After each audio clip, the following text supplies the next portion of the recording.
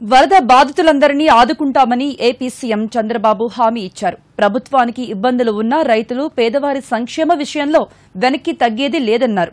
నెల్లూరు జిల్లాలోని వరద బాధిత ప్రాంతాలను పరిశీలించిన చంద్రబాబు యుద్ద ప్రాతిపదికన సహాయక చర్యలు చేపట్టాలని అధికారులను ఆదేశించారు. ఆంధ్రప్రదేశ్ ముఖ్యమంత్రి చంద్రబాబు వరుసగా మూడో రోజు నెల్లూరు జిల్లాలో పర్యటించారు. సోమశిల ప్రాజెక్టు దగ్గరికి వెళ్ళిన చంద్రబాబు నీటి మట్టంపై ఆరా తీశారు.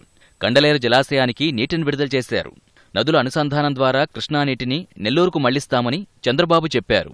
సోమశిల పెంచెలకోన మైపాడ్ బీచ్ కండలేరు పర్యాటక రంగం అభివృద్ధికి అనుకూలంగా ఉన్నాయని ఈ నాలుగు ప్రాంతాల్ని అనుసంధానిస్తామని చంద్రబాబు వెల్లడించారు. నెల్లూరు నుంచే పొదలకూరు కలువాయి ఆదూరుపల్లి మీదుగా చంద్రబాబు సోమశిలకు చేరుకున్నారు. నీట మునిగిన ప్రాంతాల్ని పరిశీలించారు. మార్గమధ్యంలో జనంతో మాట్లాడారు. వరద బాధితులకి అండగా ఉంటామని చెప్పారు.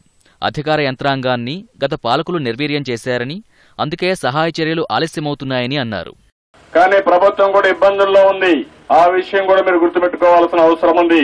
అయితే ఈ రోజు మీరు ఇబ్బందుల్లో ఉన్నారు. సముద్రం మారుగా నీళ్ళు వచ్చాయి చేపలు గాని ఇవన్నీ కొట్టుకోబోయే పరిస్థితి వచ్చింది. పెట్టిన రొయ్యలు గాని ఇవన్నీ కూడా బాగా దెబ్బతిన్నాయి. పెట్టుబడి పూర్తిగా నష్టపోయే పరిస్థితి వచ్చింది. అయితే ప్రభుత్వానికి ఉండే ఇబ్బందులు కూడా దృష్టిలో పెట్టుకుని మిమ్మల్ని ఎంతవరకు ఆదుకోవాలను ఆదుకుంటామని చెప్పి కూడా నేను మీకు తెలియజేస్తున్నాను. సోమశిల నుంచి రోడ్డు మార్గం ద్వారా నాయుడుపేట వెళ్ళారు చంద్రబాబు. సూళ్ళూరుపేట ప్రాంతంలోనూ పర్యటించారు. దెబ్బతిన్న రహదారులని సాధ్యమైనంత వేగంగా పునరుద్ధరించాలని అధికారులని ఆదేశించారు. దగ్గరుండి పనులు పర్యవేక్షించాలని మంత్రులకు సూచించారు. మొత్తంగా ఒక్కరోజు పర్యటనకొచ్చిన చంద్రబాబు నెల్లూరు జిల్లాలోని పరిస్థితిని చూసి మూడు రోజులు అక్కడే ఉండిపోయారు.